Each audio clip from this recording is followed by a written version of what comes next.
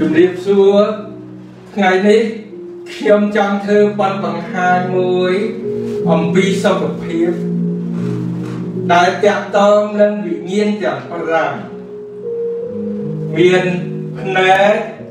មានដានមានច្រមុះត្រចៀកនិងការប៉ះពាល់វិញ្ញាណទាំង5នេះ គឺឲ្យយើងដឹងសុខភាព របស់មនុស្សទូទៅទាំងគ្រូពេទ្យទាំងប្រជាជនគ្រប់រូបចំពោះគ្រូពេទ្យគេរៀនតាំងពីថ្នាក់ដំបូងគឺចំណេះចេះដឹងសំខាន់គេហៅ seniology គ្រូពេទ្យដែលបកកាយពីដើម គេសំអាងទៅលើ seniology ច្រមុះត្រចៀកភ្នែកការប៉ះពាល់នៅដណ្ដើមហើយអីបានដូច្នេះពីព្រោះពីដើមពុំសូវមានមធ្យោបាយទំនើប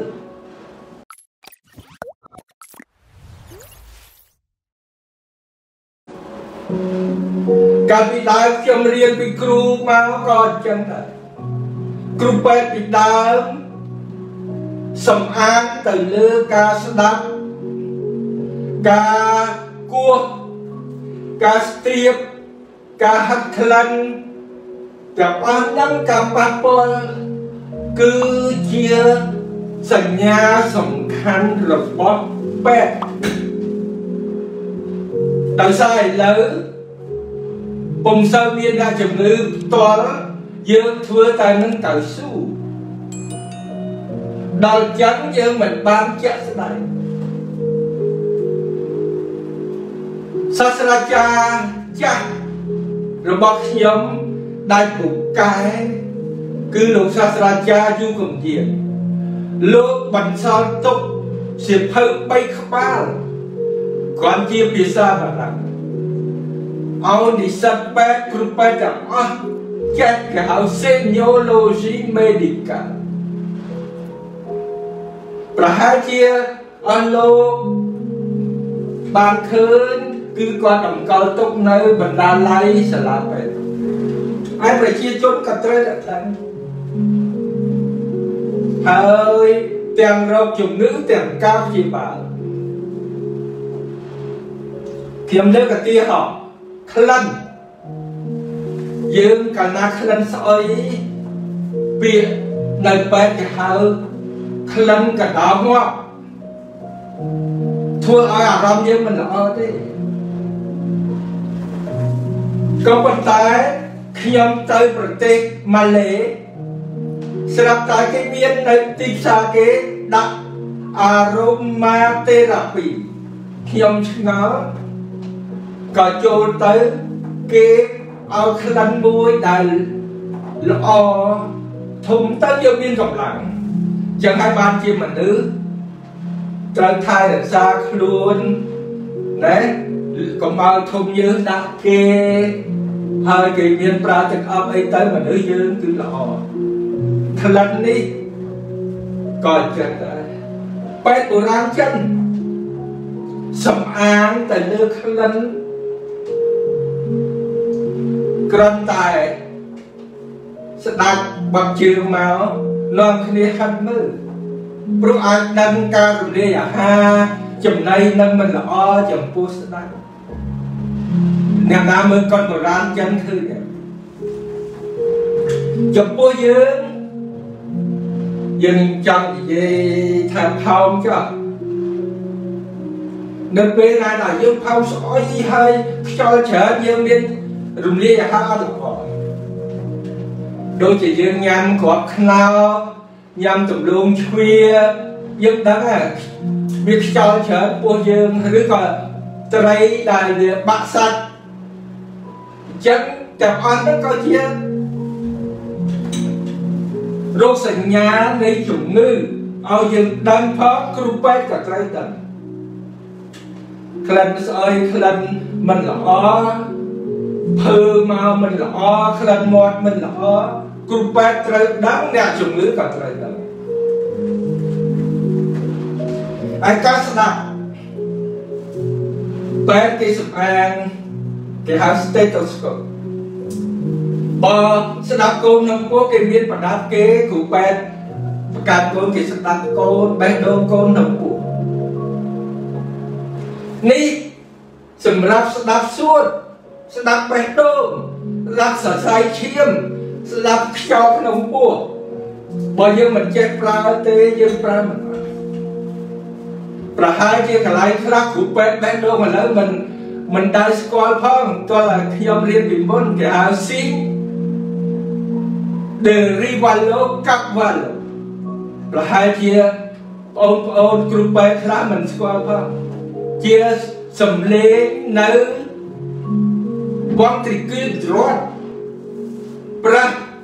ខាងស្ដាំខាង rivalo capvalo ប្រហែលជាអ្នកខ្លះមិនដែលឮពាក្យនោះផងបេះដូងនៅកន្លែងបេះដូងគ្រូពេទ្យបេះដូងដែលពូកែពីដើមគាត់ប្រើតែហ្នឹងទេប៉ុន្តែយើងឥឡូវយើងមានអេកូយើងមានដូផ្លើយើងមានស្អីស្អីច្រើនយើងអាចជំនួសបានក៏ប៉ុន្តែយើងកុំចោលនៅសួត មានរាលគេហៅក្រេពីតង់ស៊ូក្រេពីតង់សំលេងគេហៅស៊ូហ្វ្លង់រំហ្វ្លង់ចាំបកប្រែមកគេថាសំលេងផ្លុំសំលេងលាកផ្ទុះសំលេងព្រៀបយំហឺតបើអ្នកណាទៅចិត្តធំព្រៀបលីសូមសំលេងព្រៀបយំហើយពេលជំងឺហើយយើងស្ដាប់ទៅលីសិ តហើយបើយើងចង់នេះឲ្យគាត់ក្អកអស់ស្លេះមកយើងស្ដាប់ទៅដូចចង់បាក់រលាកបេះដូងឲ្យរលាកសួតគេហៅភ្នើមនី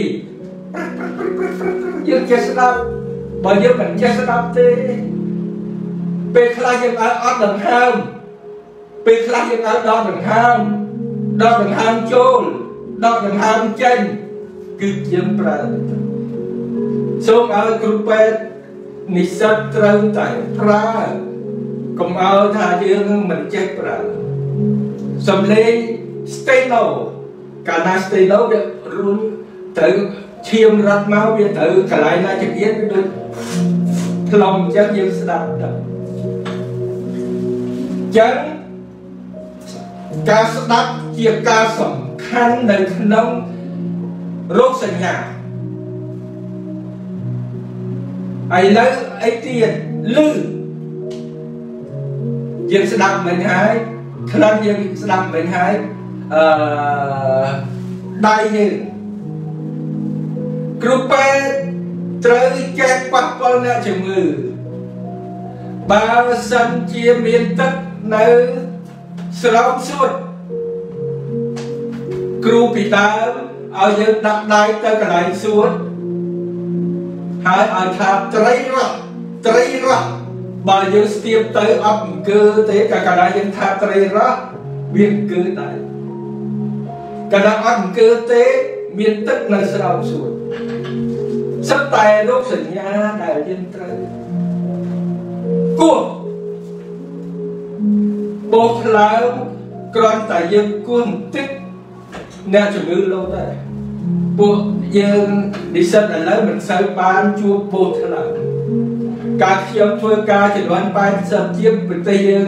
នៅក្រៅច្រើនតែអាមីបអាមីបគឺថាវានៅក្នុងទឹកដល់វាចូលមកធ្វើឲ្យរៀបមូលហើយឲ្យពុះថ្លើមគោះគាត់ថាគោះយើងដឹងបានហើយព្រោះអត់ទាន់មានអេកូកាលពីដើមឆ្នាំ80ខ្មែរយើងអត់ទាន់មានអេកូយើងហៅឆ្លោះអេកូ មួយទៀតរលាកខ្នែងពោះវៀនគេសំអាងតែពីរទេគេយកទៅវះបានហើយគឺក្របឈាមសឡើងច្រើន16000 17000ហើយប៉ះកន្លែងគេហៅចំណុចម៉ាក់វាក្នៃយើងយើងចេះយើងគ្រាន់តែគ្រូពេទ្យវះកាត់គឺប្រកែគ្រូពេទ្យអេកូជួនកាលមិនទាន់ក្រៅ ពវៀនខ្នែងរលួយមើលអត់ដឹងទៀតថ្ងៃដំបូងហើយគ្រូពេទ្យវះកាត់ធ្វើម៉េចឲ្យក្រោយ8ម៉ោងគេវះបានជោគជ័យគេចិត្តតែតិចអ្នកជំងឺចឹងរោគសញ្ញានៃវិញ្ញាណទាំង5នេះសំខាន់ណាស់ផ្នែកច្រមុះអណ្ដាតត្រចៀកនិងកាត់វល់ហើយបើសិនជានិស្សិត គ្រូពេទ្យចង់ទៅរកទៅរកសភៅចាស់ចាស់បានមានសរសេរធ្វើថ្មីឥឡូវគឺមិនសូវមានទេហើយឯកសាររបស់លោកសាស្ត្រាចារ្យយូកំជានគាត់ទុកគេដំណើរឲ្យយើងមួយទៀតនៅក្នុងពេទ្យបុរាណឥណ្ឌា ខ្ញុំស្រាវជ្រាវពេទ្យបុរាណចិនប្រើច្រើនណាស់ពីព្រោះពីដើមអត់មានអេកូអត់មានឆ្លុះអត់មានស្កានទេចឹងប្រើតែនៅវិញ្ញាណទាំង5វិញ្ញាណទាំង5អ្នកជំងឺចូលមកផ្នែកលឿង អ្នកជំងឺមកផ្នែកស្លាំងចឹងហើយបានជាយើងត្រូវស្ទាបយើងត្រូវស្ដាប់យើងត្រូវមើលគាត់ថាចូលមកយើងឃើញដើរប៉ាំងពីប៉ាំងពីយើងដឹងថាធ្លាប់ស្រោបដែរឬក៏ពិការពីកំណើតក៏ស្រោបនិយាយមកហត់ហត់យើងអាចដឹងថាបើមិនបេះដូងសួតឬក៏ស្លាំងខ្សោយបេះដូង ដូច្នេះយើងតាមរកទៀតដោយដូចវិញ្ញាណចាំបានចឹងសរុបមកវិញសេញយូឡូស៊ីនេះជាមូលដ្ឋានគ្រឹះនៃវិជ្ជាបែបប្រជាជនក៏ត្រូវតែដឹងពីព្រោះការឈឺត្រូវម្ចាស់ខ្លួនដឹងមុនមក រៃរាប់ប្រាប់ពេទ្យពេទ្យក៏ត្រូវយកចិត្តទុកដាក់ស្ដាប់គាត់ត្អូញអីណាចង់និយាយថាគាត់ត្អូញពីឈឺក្បាលគាត់ត្អូញអំពីឆាប់ហត់ខ្សោយបេះដូងគាត់ត្អូញអំពីឈឺពោះទាំងអស់នេះជារូបសញ្ញាសំខាន់ណាស់ហើយគ្រូពេទ្យដូចខ្ញុំបានជម្រាបត្រូវមានចិត្តសាស្ត្រត្រូវមានសិលធម៌ ពីព្រោះអ្នកជំងឺមកចម្រុះមានចាស់មានក្មេងមានស្រីមានប្រុសមានអ្នកមានមានអ្នកក្រមានអ្នកចេះមានអ្នកមិនសូវចេះមានអ្នកស្រ័យចំការយើងត្រូវស្ដាប់ឲ្យយល់គំនិតដែលគាត់ត្អូញត្អែប្រាប់យើងហើយពាក្យខ្មែរទៅតាមតំបន់ទៀតតំបន់យើងថា យើងពាក្យខ្មែរថាលក្ខកងជើងគឺតំបន់កំពង់ស្ពឺតំបន់ស្វាយរៀងតំបន់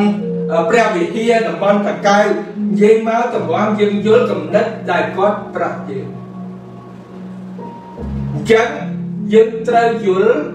ហើយជាពិសេសចាស់ជួនកាលគាត់និយាយមិនបានអស់ចឹងគ្រូពេទ្យត្រូវគេហៅ seniorologie dirigée បានន័យថាយើងទាញឲ្យចូលជំងឺណាដែលគាត់ចង់គាត់ឈឺ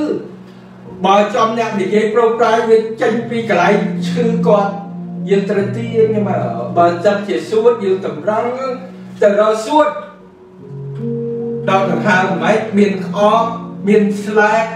មានក្តៅខ្លួនតម្រង់រកសួតបើតសៃយើង វារត់តសៃបើផ្លូវចិត្តអ្នកជំងឺនិយាយទៅឆ្វេងតិចទៅទៅស្ដាំតិចទៅឈឺបេះដូងតិចទៅឈឺពោះតិចទៅឈឺក្បាលតិចទៅឈឺច្រើនបងផ្លូវចិត្តយើងជាគ្រូពេទ្យយើងត្រូវយល់អ្នកជំងឺត្រូវមានសិលធម៌ល្អណាស់បានយើងយល់អ្នកជំងឺយើងធ្វើឲ្យអ្នកជំងឺសប្បាយ អ្វីដែលគួរប្រាប់អ្វីមិនគួរប្រាប់គាត់អ្វីដែលត្រូវប្រាប់កូនចៅពីព្រោះកូនចៅជាអ្នកជួយអ្វីដែលគួរប្រាប់ប្តីអ្វីដែលគួរប្រាប់ប្រពន្ធព្រោះកន្លែងខ្លះគេຕົកចិត្តលើយើងគ្រួសារគាត់ឲ្យយើងជួយនិយាយប្រាប់ប្តីគាត់ឲ្យឈប់ផាត់កន្លែងខ្លះយើងត្រូវចេះនិយាយ ត្រូវនិយាយឲ្យជួយនិយាយប្រាប់ប្តីគាត់ឈឺផាត់កុំឲ្យដើរលេងយប់កន្លែងខ្លះគ្រូពេទ្យជាអ្នកចិត្តសាស្ត្រចឹងរោគសញ្ញាដែលខ្ញុំបានជម្រាបទាំងវិញ្ញាណទាំង5នេះសំខាន់ណាស់នៅពេលដែលជាសេចក្តីផ្ដើមដែលជាបុរាណមកគេអនុវត្តហើយយើងត្រូវតែ មានការចិត្តស្និទ្ធជាមួយអ្នកជំងឺហើយក្បួនគេដោយសារកូវីដយើងត្រូវលាងដៃយើងត្រូវអីបានយើងពន់អ្នកជំងឺតាំងពីខ្ញុំរៀនបើពលពោះអ្នកជំងឺយើងត្រូវធ្វើដៃយើងឲ្យក្តៅសិនដូចយើងលុញឲ្យក្តៅបានយើងស្ទាបថ្លើមមើលថ្លើមមើលអីព្រោះពោះយើងកែជា9ចំណែកយើងអាចដឹង ឈឺថ្លើមឈឺតម្រងនោមឈឺប្រមាថគេមានចំណុចគេទាំងអស់នៅពេលដែលយើងឃើញរោគសញ្ញាយើងត្រូវចេះគុំរោគសញ្ញាដែលក្នុងវិជាពេទ្យគេហៅ syndrome គេហៅប្រជុំរោគសញ្ញាដល់ប្រជុំរោគសញ្ញាបានហើយបានយើងគិត ចឹងបានអ្នកណាប្រឡំពេទ្យចេញពីដើមគេឲ្យធ្វើ clinic ចេញកាលពីខ្ញុំពីដើមគឺ clinic ចេញនេះសំខាន់ណាស់គ្រូយកឯកសារលាក់ហើយដាក់ជំងឺនឹងឲ្យយើងឲ្យយើងមើលតាម1ម៉ោង2ម៉ោងទេហើយបើយើងចង់សុំអីបានគេបញ្ចេញថាសុំរូបថតសុំអីបានគេឲ្យយើង អត់ឲ្យយើងសួរគ្នាឲ្យអង្គុយទៅសេបើគេបើគេបកកែទៅសេ5 6សន្លឹកហើយនិយាយអស់រហូតដល់ការព្យាបាលប៉ុន្តែឥឡូវគេលែងធ្វើគេធ្វើគ្រប់ពីដែលរបៀបរបបឥឡូវខុសពីពីមុនចឹងរោគសញ្ញាណែនាំយើងឲ្យទៅមើលឈាមដើម្បីបញ្ជាក់ ដែលខ្ញុំបានធ្វើឡើយហើយយើងអាចសំចៃអ្នកជំងឺទៀតពីព្រោះរោគសញ្ញានេះយើងគួរសុំអីសុំជាតិស្ករសុំជាតិអំបិលសុំជាតិលឿងសុំជាតិតម្រងនោះដើម្បីមកបញ្ជាក់ហើយជំងឺវាមិនដែលមកតែឯងទេវាមានគេហៅពាក្យពាក្យបារាំងថា intrigue វាមកមកចិត្តចិត្តចិត្តចិត្ត យើងទេដែលអ្នកគ្រូពេទ្យទេដែលអ្នកពិចារណាថាឈឺអីឲ្យដឹងច្បាស់ឲ្យឆ្នាំតិចបានហើយនៅពេលហ្នឹងយើងត្រូវបង្គ្រប់ដោយគេហៅរូបភាពដែលមានអេកូមានថតមានឆ្លុះមានស្កាននាមាន ERM មានឥឡូវនេះមានដល់គេហៅអឺ PET scan អ្នកដែលពេទ្យខ្លះមិនដែលជឿផងគេប្រើប្រូតុងតើអ្នកធ្លាប់រៀនបរិមាណនោះបាទគាត់ពេទ្យ scan តែស្រុកយើងមិនទាន់បានទិញយកមកដាក់ទីពេទ្យធំធំផងមួយទៀតប្រើអេឡិចត្រូនអេឡិចត្រូនហ្នឹងគឺប្រើបរិមាណដូខ្លះទៀតដែលគេហៅ scintigraphy អញ្ចឹងរូបភាពមានច្រើនទៀត ដើម្បីយកមកជាហើយលោកគ្រូពេទ្យឯកតាឯកទេសខ្លះទៀតកាត់ដុំសាច់នឹងយកទៅមើលទៀតបានដឹងថាយើងច្បាស់100%ជាកង់សៀជាវិវត្តរកង់សៀឬក៏ដុំធម្មតាក៏ប៉ុន្តែទាំងអស់នឹងហើយជាចំកោ ដែលនៅក្នុងបច្ចេកទេសពេទ្យគេហៅ plateau technique ពេទ្យធំធំត្រូវតែមានពេទ្យខេត្តត្រូវតែមានអាយគ្រូពេទ្យក៏ត្រូវតែមានគំនិតគេហៅ plateau technique ពិនិត្យផ្ទាល់គេអាសេញូឡូស៊ីដូចខ្ញុំបាននិយាយវិញ្ញាណទាំង5មើលឈាមថតឆ្លុះគ្រប់ទាំងអស់ដល់យើងច្បាស់ហើយឲ្យឆ្នាំតិច សន្សំសំចៃអ្នកជំងឺទៀតអ្នកមានឆ្នាំប្រែនអ្នកក្រឆ្នាំដូចគ្នាប៉ុន្តែជានិរិចដូចជាដាំងបោះអាល្លឺម៉ង់ដូចជាស្អីឆ្នាំខ្លះល្អប៉ុន្តែជាជានិរិចចឹងបញ្ហាវិញ្ញាណទាំង5នៅក្នុងវិជាពេទ្យគេហៅ seniorology សូមបងប្អូនគ្រូពេទ្យទាំងអស់ កុំចោលដែលខ្ញុំរៀនពីដើមមកគ្រូខ្ញុំបកកែណាស់ពីព្រោះគាត់បកកែខាងហ្នឹងហ្មងខ្ញុំនិយាយរំលឹកគុណគាត់ដូចលោកតាយូកំជាបកកែណាស់ចឹង seniorology យើងកុំចោលឯបច្ចេកទេសថ្មីដែលមាននៅមើលក្នុងឈាមរូបភាពហៅ imagery ឬក៏គេហៅកាត់សាច់ទៅមើលហ្នឹងនិយាយស្រួលស្ដាប់អនាប័តក៏យើងត្រូវតាមឲ្យទាន់ដែរបុរាណក៏យើងធ្វើសម័យក៏យើងធ្វើការព្យាបាលជាពិសេសការព្យាបាលទាន់សម័យបុរាណក៏យើងអត់ចោលណែដោយថាប្រទាលកតុយកពើមរុំជីឡូបាទាំងអស់ហ្នឹងក៏ជាឆ្នាំផ្សំ ដើម្បីឲ្យយើងបានជោគជ័យនៅក្នុងវិទ្យាសាស្ត្រនិងជួយសន្សំសំចៃប្រជាជនយើងជាអ្នកក្រអ្នកជំនឿចឹងការឡាយរបស់ខ្ញុំអំពីរោគសញ្ញាវិញ្ញាណទាំង5នេះមានសារៈសំខាន់យ៉ាងសូមឲ្យនិស្សិតគ្រូពេទ្យទាំងអស់កុំចោលបើយើងធ្វើនៅលើកៅស៊ូ ទៅលើតាគ្រប់គីទេយើងមិនឃើញជាក់ស្ដែងទេចឹងកាលឡើងរបស់ខ្ញុំមានតែប៉ុណ្ណេះសូមអរគុណ